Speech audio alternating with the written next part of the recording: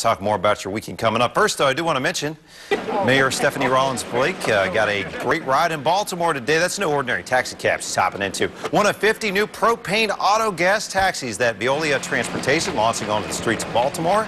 There she goes. Propane auto gas, the most widely used alternative fuel in the world. And a ceremony today at uh, Veolia's headquarters, state, city officials, there's Senator Ben Cardin. Uh, it was a huge, huge event downtown launching greener energy. I had a chance to go with my green tie on, Josie, and, and uh, MC the event. But again, huge deal for Baltimore to get these propane powered taxis. Back to you. All right, thanks, Wyatt.